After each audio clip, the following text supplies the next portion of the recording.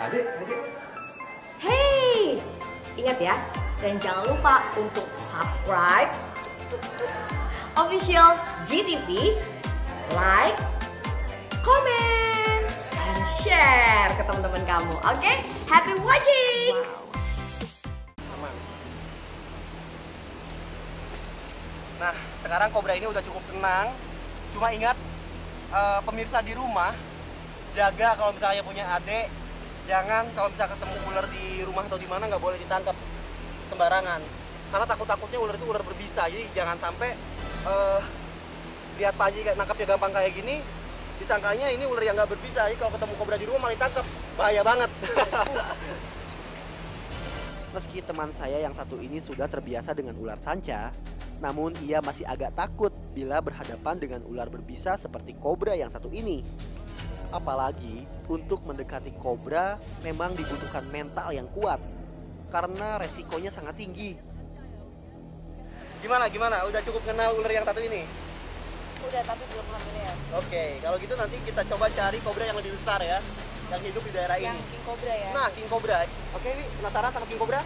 Kita cari di habitatnya langsung. Oke. Oke, yuk. Oke, kawan. Hey, sini. Di dalam hutan hujan tropis seperti di areal hutan ini, berjalan semakin ke atas, kelembaban udara semakin terasa.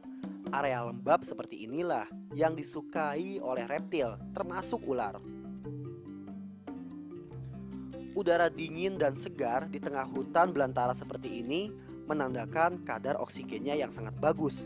Dan tentunya oksigen yang bagus sangatlah membantu setidaknya daya tahan tubuh dan stamina tidak cepat drop meski harus melintasi jalanan yang naik turun.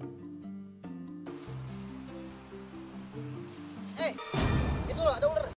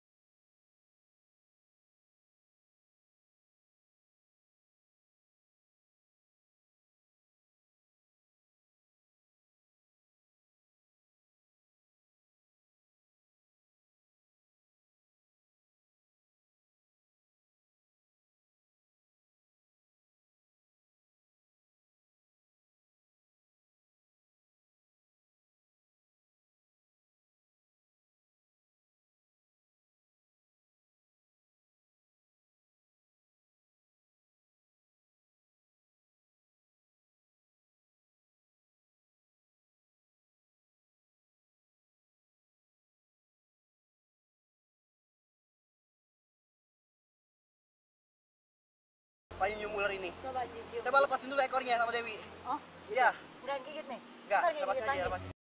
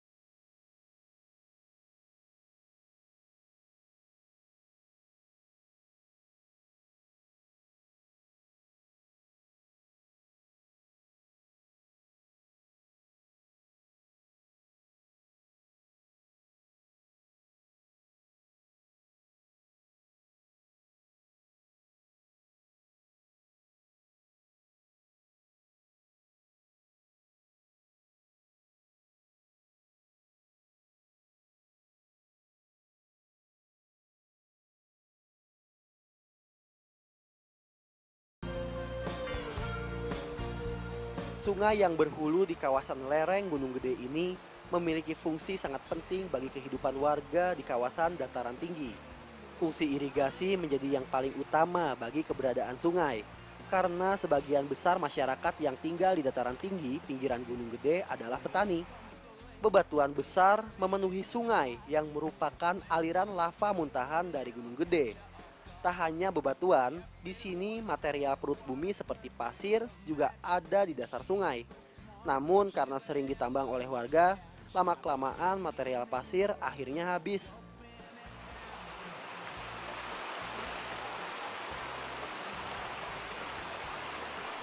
Nah, Wi, ini namanya Sungai Tapal Kuda. Sungai kapal kuda. Hmm, sungai ini sendiri terbentuk itu karena dulunya sungai ini merupakan bekas aliran lava Gunung Gede. Gunung gede. Nah, eh, sekarang Tapi airnya ini gini. airnya sendiri berasal dari Gunung Gede. Airnya. Tapi airnya udah kotor ya sekarang. Sekarang yaitu masyarakat kurang eh, menjaga ya untuk kebersihan air minum atau air-air alam seperti ini. Mereka membuang sampah sembarangan ke sungai, tapi tanpa memikirkan dampak yang eh, terjadi ketika sudah banyak sampah seperti ini kan. Di mana-mana ada banyak sampah sekarang. Dan dulu Wi, sebelum dilarang oleh pemerintah, daerah ini tuh adalah daerah di mana tempat penambangan pasir. Cuma karena terus-terusan di apa eh, ditambang, akhirnya dilarang sama pemerintah. Sekarang udah dilarang berarti. Dilarang sekarang, udah nggak boleh sekarang nambang di daerah sini. Soalnya mengganggu juga kan untuk kehidupan satwanya kan. Oke, sekarang kita jelajahin terus sampai ke hulunya ya. Oke.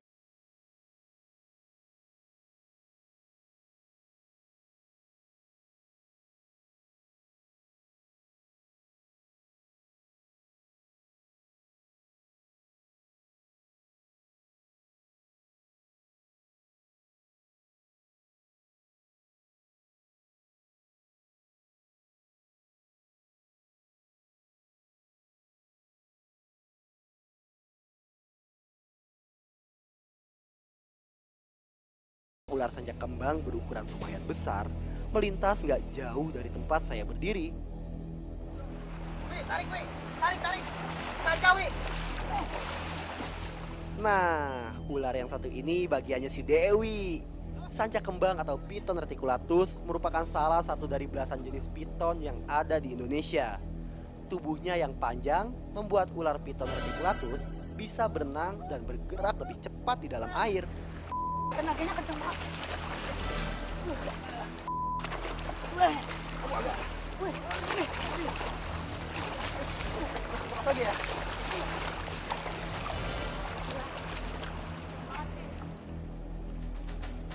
Cukup berbahaya memang berdekatan dengan ular piton sebesar ini di dalam sungai. Karena pada dasarnya, ular lebih lincah dan cepat gerakannya bila berada di dalam air. Tenaga piton sebesar ini terlalu kuat jika saya hadapi sendirian. Oleh karena itu, saya dan Dewi harus tetap waspada dan terutama memantau posisi kepala ular. Karena jika berhasil memegang kepalanya, saya bisa lebih mudah mengendalikannya. Oke, terus, pegang terus, terus, jangan sampai lepas. Oke, aku tahan. Gila ulangnya gede banget. Ini berapa meter nih, Gi? Ini 5 meteran, Wi. 5 meter. Akhirnya, kita berhasil juga dapat sanca ya.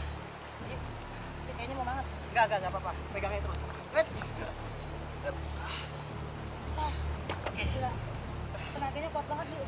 Tapi salut nih sama Dewi. Bener-bener Dewi Sanca. Berani banget ke ular Sanca dia. Aduh. Gila. Wih. Uh, jadi gimana nih? Udah tahu nggak sekarang otot sama tenaganya dia waktu di habitatnya yang masih liar kayak gini kan? Luar biasa. Ini kambing masuk satu. Di kambing masuk. Di habitat aslinya, apalagi dia masih liar, ular ini sangat agresif dan tenaganya sangat kuat. Bahkan beberapa kasus, ular ini ditemukan sedang melahap manusia di hutan. Ayo, Wi, kita tinggalin aja ya. Iya. Kita pulang sekarang ya. Gimana petualangannya keren kan? Ayo kita jalan. Gede banget.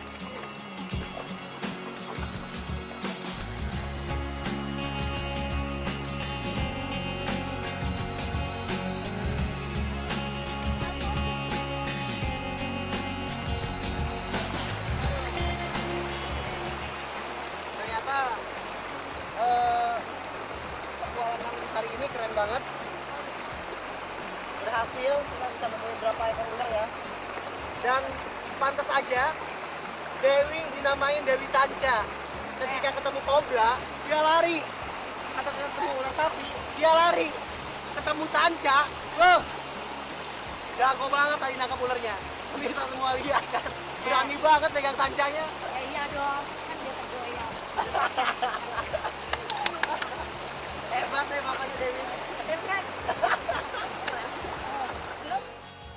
Akhirnya nggak sia-sia perjalanan saya menyusuri hutan di lereng Gunung Gede.